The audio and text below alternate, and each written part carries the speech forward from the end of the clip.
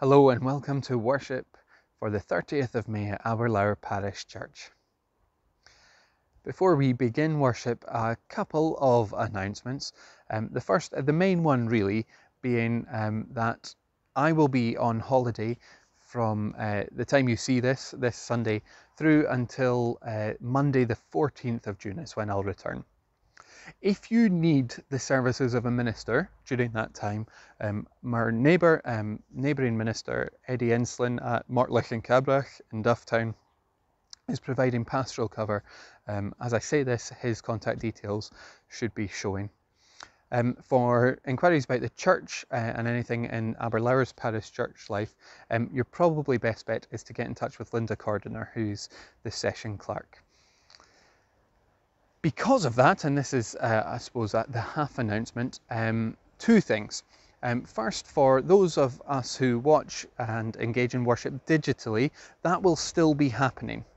Um, that will happen uh, by we're going to borrow or join in along with the services um, from Grantown on Spey. Um, the Reverend Gordon Strang will be leading those uh, worship uh, services.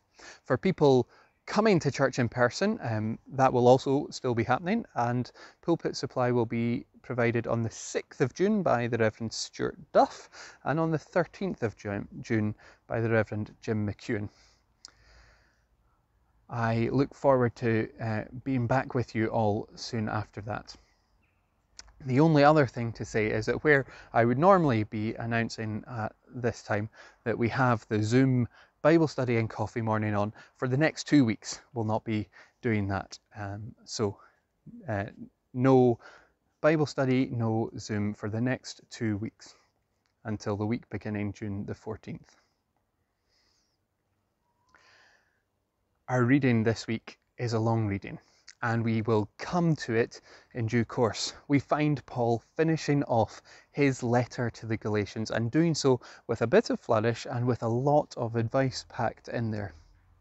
At the core, though, we will find that what drives Paul's desire for the Galatians is a vision of a new creation inaugurated by Christ, the possibilities of what is possible now because of what Christ has done for us.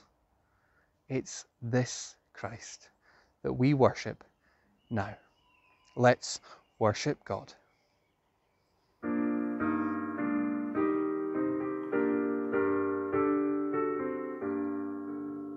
Children of God, reach out to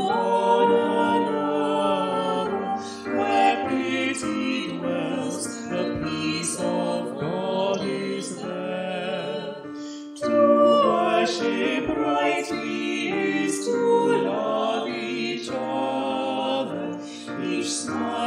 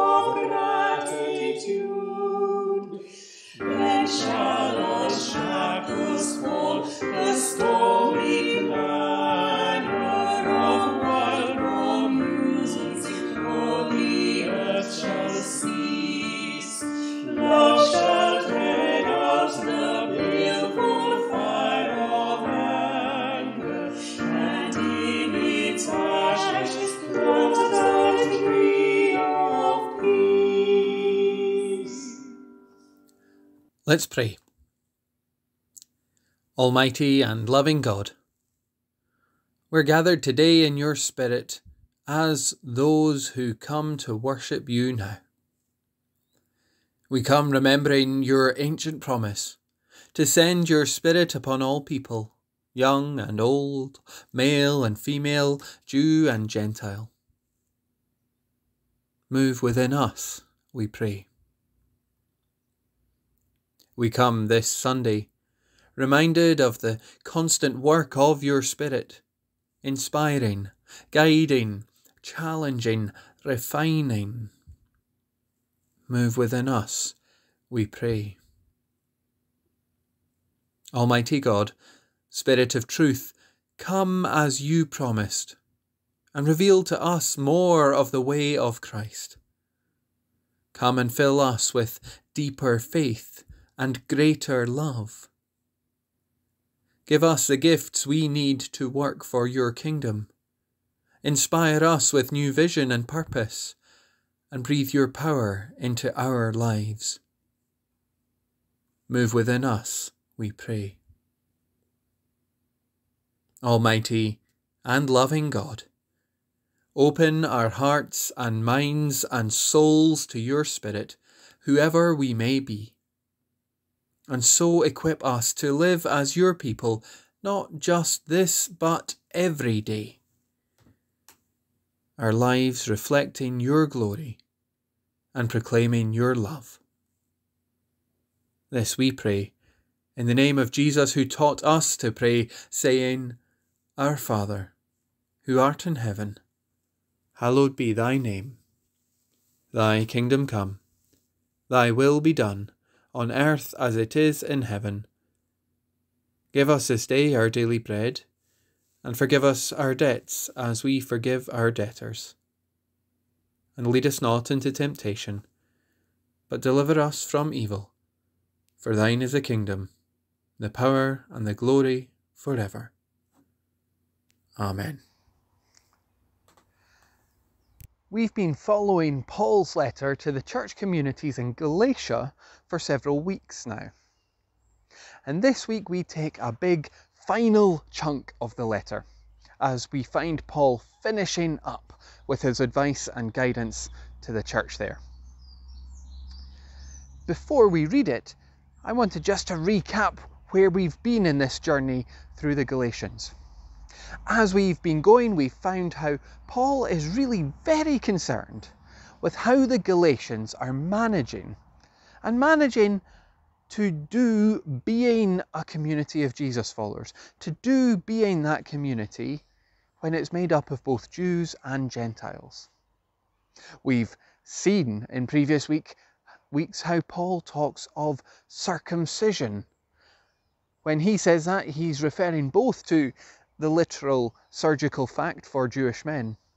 But he's also meaning it is a wider term for the whole caboodle of Jewish identity. A whole, a marker for that whole people whom God made a covenant with through Father Abraham, the people who have cherished and followed the law of the God of Israel and done so their whole lives. And we've seen how Paul is very worried about what it might mean for that community of Jesus followers if the non Jews, the Gentiles, were to be expected to take up those markers of Jewish identity. Over and over again, Paul has made the point with respect to the law, with respect to circumcision, that it's the faith of the Gentiles. It is their receiving of God's grace. And of course, for us today, it is our receiving of God's grace that matters. It is because of what God has done for us, not anything that we can do, that we are made children of God.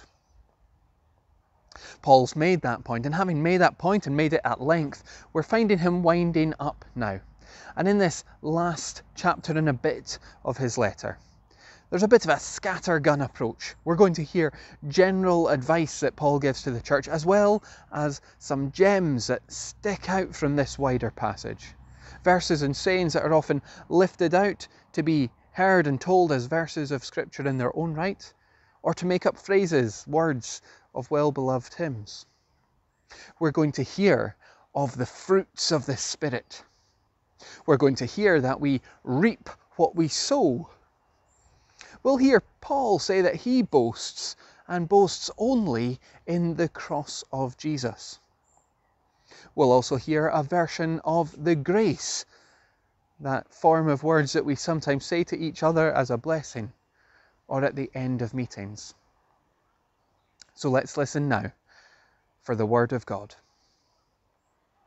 Our reading is from Galatians chapter 5, verse 22, and through to chapter 6, verse 18. Paul writes, By contrast, the fruit of the Spirit is love, joy, peace, patience, kindness, generosity, faithfulness, gentleness, and self control. There is no law against such things. And those who belong to Christ Jesus have crucified the flesh with its passions and desires. If we live by the Spirit, let us also be guided by the Spirit.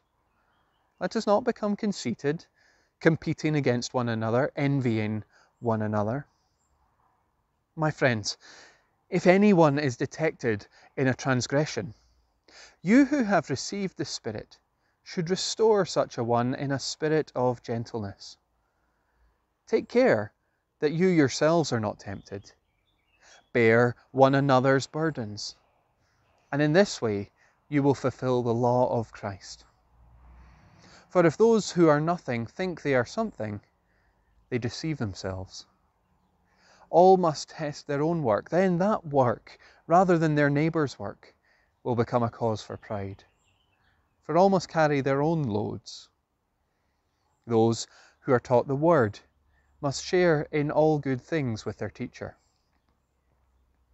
Do not be deceived, God is not mocked, for you reap whatever you sow. If you sow to your own flesh, you will reap corruption from the flesh. But if you sow to the Spirit, you will reap eternal life from the Spirit. So let us not grow weary in doing what is right, for we will reap at the harvest time if we do not give up. So then, whenever we have an opportunity, let us work for the good of all, and especially for those of the family of faith. See what large letters I make when I'm writing in my own hand. It is those who want to make a good showing in the flesh that try to compel you to be circumcised, only that they may not be persecuted for the cross of Christ. Even the circumcised do not themselves obey the law, but they want you to be circumcised so that they may boast about your flesh. May I never boast of anything except the cross of our Lord Jesus Christ, by which the world has been crucified to me, and I to the world. For neither circumcision nor uncircumcision is anything, but a new creation is everything.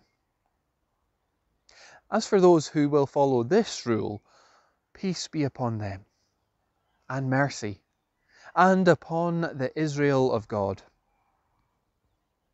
From now on, let no one make trouble for me, for I carry the marks of Jesus branded on my body.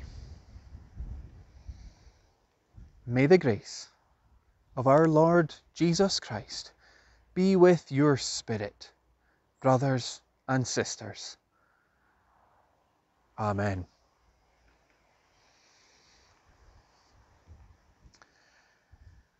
Paul began this letter, as he begins several of his letters, addressing a problem. He thought that something was breaking, or indeed already broken, in amongst the church of the Galatians. We've said before that one of the downsides of eavesdropping in on only one end of the conversation, this exchange of letters, is that it's hard to know exactly what is going on in these churches in Galatia. But it appears that there is a teacher or a set of teachings and beliefs that Paul thinks is, well, in his words we've heard earlier, leading the church astray, cutting in on their race, their journey with Christ bewitching them into foolishness.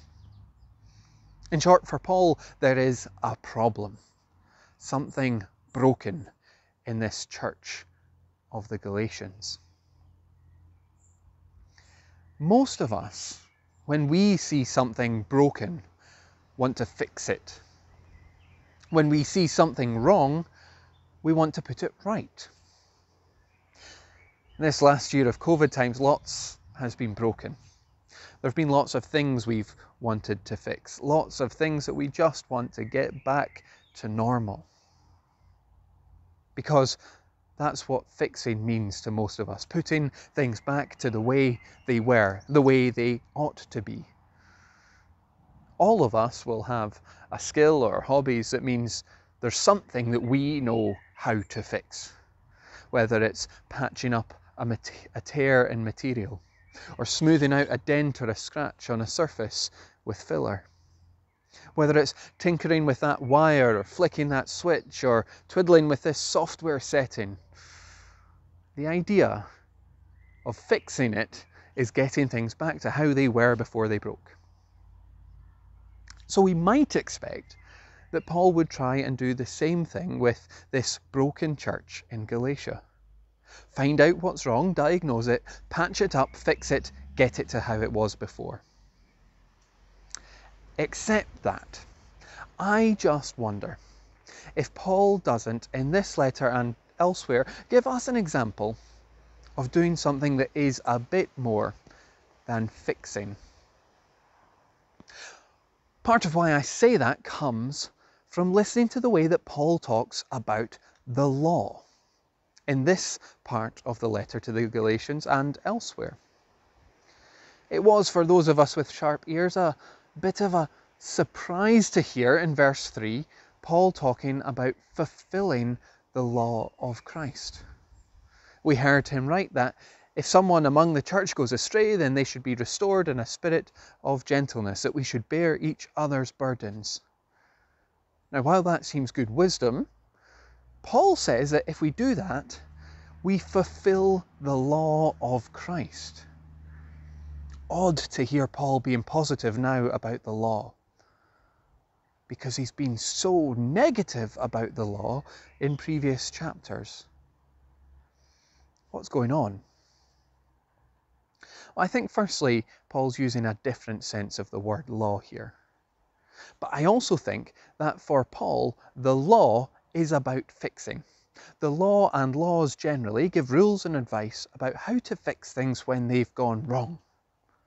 So that's when things have gone wrong between two human parties, but also when they've gone wrong between humans and God. In each case, the law, and here we're talking about the Old Testament law, tells you how to fix it. It sometimes tells you how to stop it going wrong in the first place. When we think of law today, lawyers and solicitors around us looking at problems still talk in terms of what remedy the law can offer. The law is designed for fixing. The law is good at fixing. But Paul, we see, hasn't prescribed a legal remedy for the church in Galatia. He's not trying to fix something broken to restore it back to what it was.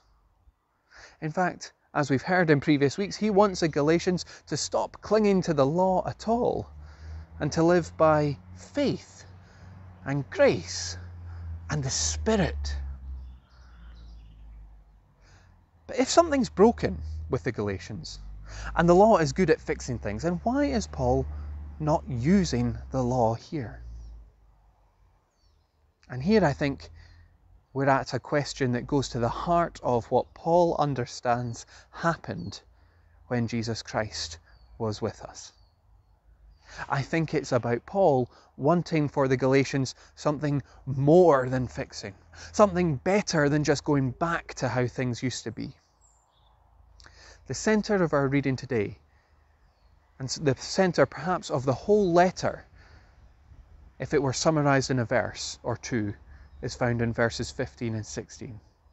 Paul wrote, For neither circumcision nor uncircumcision is anything, but the new creation is everything. As for those who will follow this rule, peace be upon them and mercy, and upon the Israel of God. We know Paul thought there was a problem. We know that it was a problem around the law and Jewish identity and the whole bundle of things Paul means when he says circumcision. But Paul isn't interested in just fixing that problem, in patching it over, in making it like it was before. Paul says circumcision and uncircumcision are nothing. The new creation is everything. That goes to the heart of what Jesus is about. There is a version of Christianity that goes something like this. You might recognize it. In the beginning, everything was perfect. There was Adam, there was Eve, the Garden of Eden, all of that. Things were perfect. And then there was a, an episode with an apple, a fall, and things went bad. People stumbled on, and then eventually Jesus comes and fixes it all. Jesus fixes everything, and in heaven, everything will be perfect again, just like it was in the beginning at creation. Paul wouldn't like that version of Christianity. I don't either, and it's for this reason. Because Jesus didn't just fix what was broken.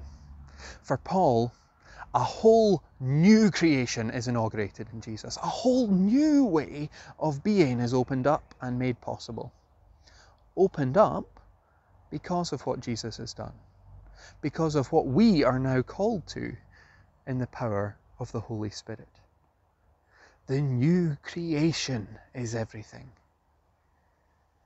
That new creation isn't about a heaven of a restored Eden. That new creation is about the here and the now. That is a new creation that we pray for each week when we ask that God's will be done on earth as it is in heaven. This new creation is not just a fixing, it's about a flourishing. It's not about going back to how things were, it's about receiving God's Spirit anew and discovering anew the significance of God's love for us now and how we respond to God's love in the ways we live and tell and show God's love to others now and in the future. Whenever things have broken or gone wrong, the truly Christian response isn't to fix. Fixing is right, it's often necessary. We may often have to do fixing. We may well invest a lot of time and energy in fixing, and that's not wrong but never fixing just to go back to what was. Fixing for what comes next. COVID times have been hard. A lot has been broken, including ourselves in some sense. We've all missed out on much. We've all weathered much. If we are all not, in some sense, deeply tired or even traumatized, ailing from the effects of long term anxiety, let alone to say grieving, struggling, at or past breaking point. If we're not like that, then we're in the minority. For most of us and for the world around us, there is a lot of fixing to do.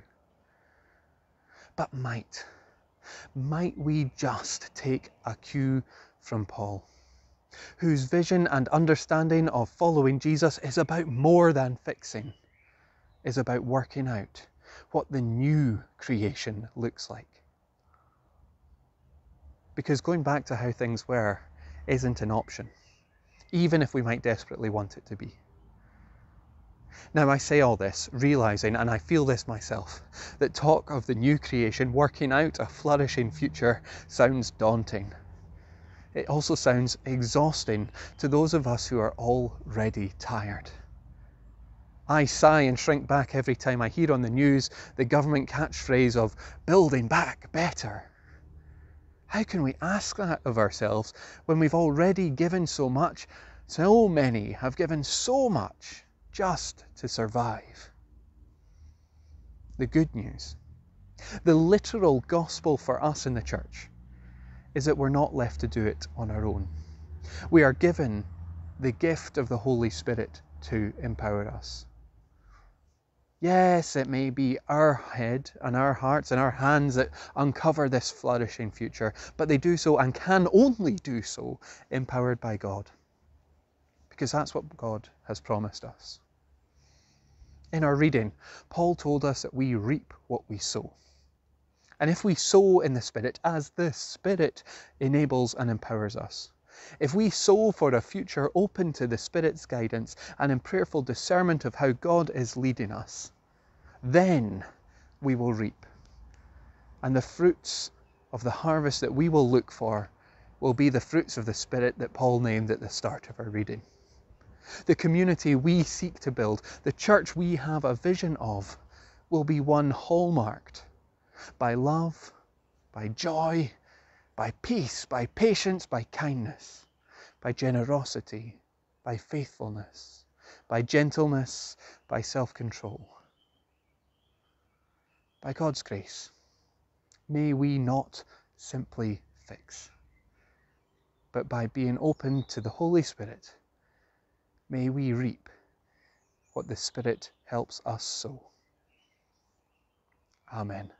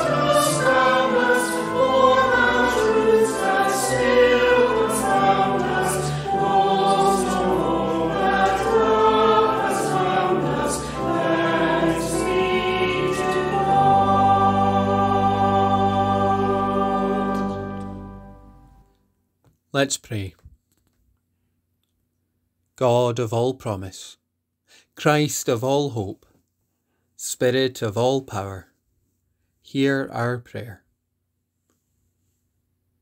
In a world which knows much pain, in a world which reaps fruits of greed, injustice, hate, and evil, because that's what it sows, we pray for a world which harvests instead the fruits of your Spirit and receives them abundantly.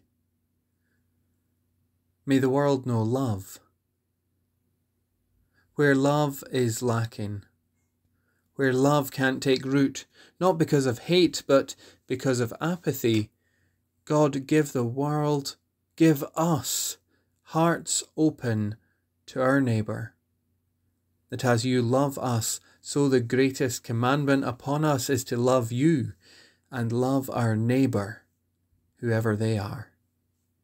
May love abound. May the world know joy, a joy which goes deeper than happiness or pleasure, a joy which rests and underpins our orientation within the world for there is much pain and much grief. Nobody denies this. But the joy of your spirit does not deny this truth. Yours is the spirit who groans wordlessly for those horrors which words can't express.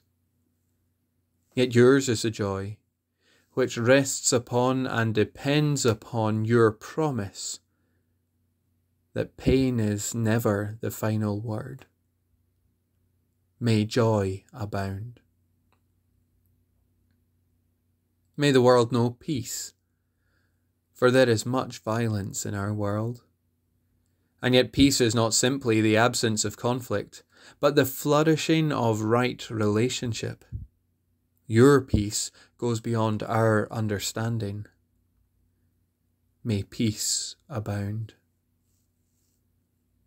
May the world know patience. In a world that demands what it wants now, never mind the consequences for people or planet, may a spirit of patience pave the way for a sustainable future. May patience abound. May the world know kindness. Because a world which celebrates power and possession is impoverished in its understanding of human flourishing without kindness. May kindness abound. May the world know generosity. When we hold tight to what is ours, and when we always want more, we fail ourselves. And when we all make excuses for greed, everyone loses out may generosity abound. May the world know faithfulness. Jesus said, Let your yes be yes, and your no be no. Where insincerity or hypocrisy reigns, where trust has been eroded and can only ever be built back with painstaking care, may faithfulness abound. May the world know gentleness. Because treading gently doesn't mean going soft. The hardest thing is nursing righteous anger into that which transforms rather than destroys. May gentleness abound. May the world know self control. In a world where it's easy to be led this way or that, wherever the winds of populism blow, where it is easy to lose oneself to the agendas of others, may self control abound. Holy Spirit, who hovered over the waters of chaos before the word of creation was ever spoken, bring us, with all that you love, towards the new creation. We pray, Thy will be done on earth as it is in heaven. Amen.